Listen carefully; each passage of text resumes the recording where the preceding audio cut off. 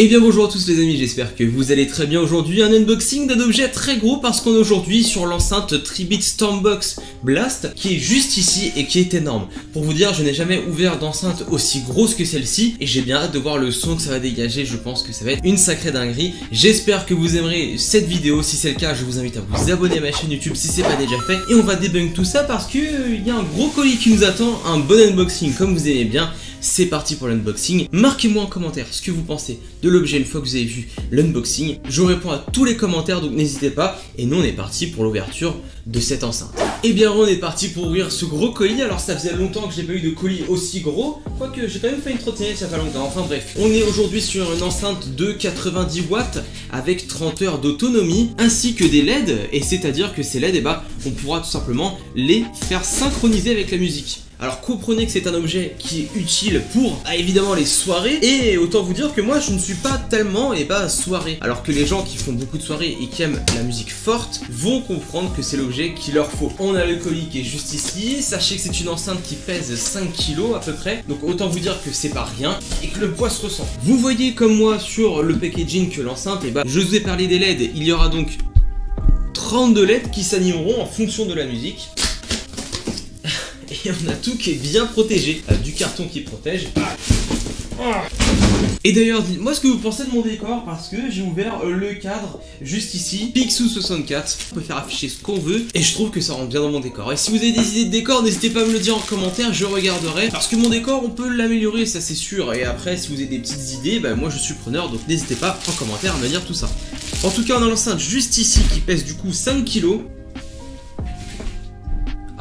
j'allais dire avec une autonomie, de 30 heures, comparé à cette foutue lampe qui s'éteint, j'en peux plus. Ok, donc sur les côtés, on a quand même on dirait un tam-tam, hein, tout simplement. C'est une enceinte qui sera waterproof, IPX7, donc autant vous dire que la pluie, bah ça ne craindra rien. On a du coup une énorme poignée juste ici, parce que oui, 5 kg, c'est pas rien non plus pour une enceinte, surtout quand on est habitué au JBL Go, les gars, je vous jure que 5 kg, c'est énorme pour une enceinte.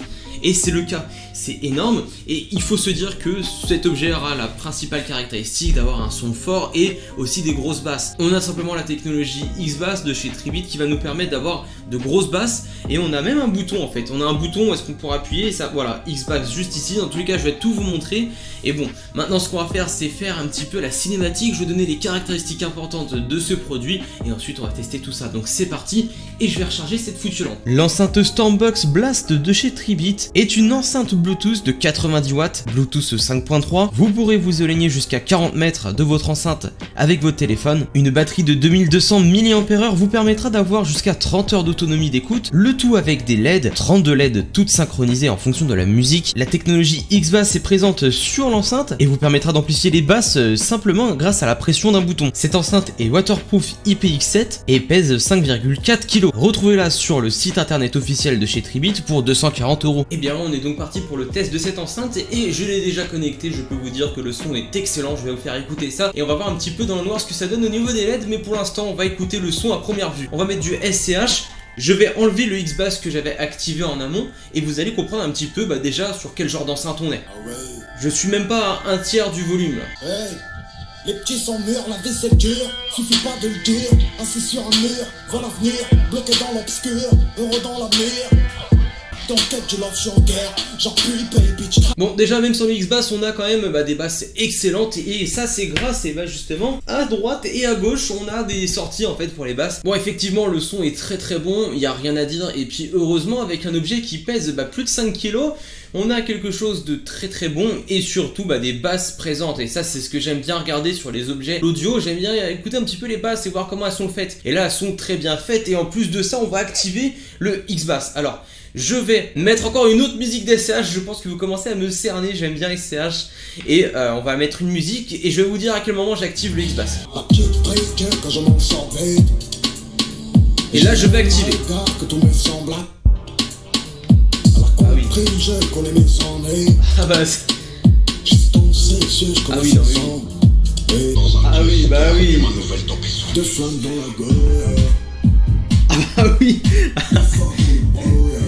Mes voisins vont me détester les gars, ça se voit clairement quand on active le X-Bass. Il y a des basses qui sont drôlement appuyées, mais pas seulement bourriner les basses comme un bourrin, là c'est bien géré. On a quelque chose qui vibre, de très puissant parce qu'on est sur du 90 watts cette enceinte. Et en termes de basse, bah rien à dire. Et heureusement parce que c'est la technologie X-Bass de chez Tribit et bah, je, ne connaissais pas. Je connais d'autres marques euh, audio qui font ce genre euh, bah, de technologie à eux-mêmes, et par contre cette marque, enfin cette technologie là, je ne connaissais pas. Il y a également les LED juste ici. Donc là vous avez vu que ça augmente selon euh, le ton de la musique, tout simplement la hauteur du son. Et on peut également changer. Là on peut changer en comme ça une couleur unique qui va défiler, mais on peut aussi enlever tout si on veut, par exemple rien du tout. Bon, pas longtemps les gars, mais je vais mettre, je vais mettre à fond. Ah, c'est une dinguerie.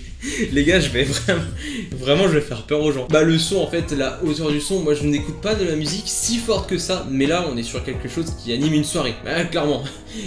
Les gars, là, on est sur quelque chose qui anime une putain de soirée au niveau bah, de la hauteur du son et également au niveau des basses. Alors là, rien à dire et on aura une autonomie de 30 heures comme je vous ai expliqué grâce à euh, une batterie de 2200 mAh si je dis bon. Alors oui c'est sur batterie et ça c'est plutôt cool parce que généralement les grosses enceintes comme ça ça commence à être sur du secteur Là, non. Et c'est très plaisant. J'éteins toutes les lumières et on voit ce que ça donne dans le noir. Bon, on va laisser quand même le décor pour que vous puissiez quand même un petit peu voir ce qui se passe. Et puis voilà, ça va pas non plus gêner tout. On va pouvoir avoir un aperçu. Bah, typiquement, là, c'est ambiance soirée, tout simplement. Euh, sans trop de lumière, avec des lumières colorées.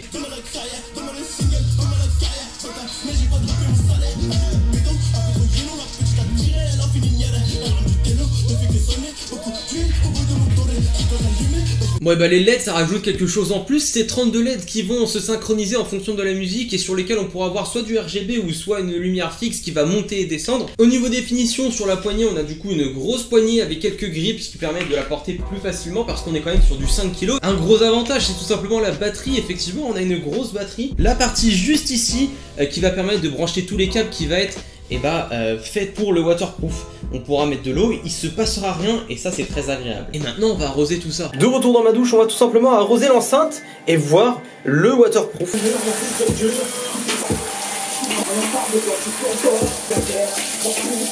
Bon bah j'ai tout arrosé, on va voir un petit peu s'il y a une modification du son.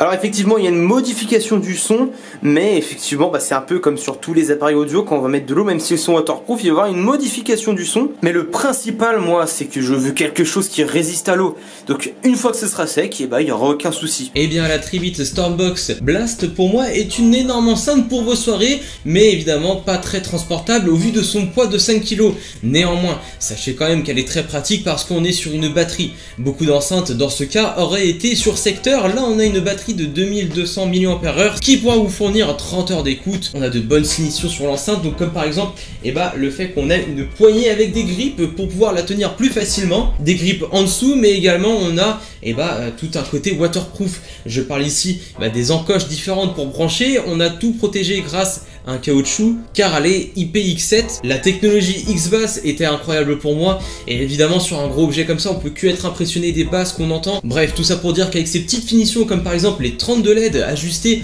en fonction du son, ça a été une pépite pour moi. Après c'est sûr que le prix de 240 euros, il faut le mettre, il faut sortir euh, bah, l'argent de sa poche tout simplement, mais après on sait pourquoi.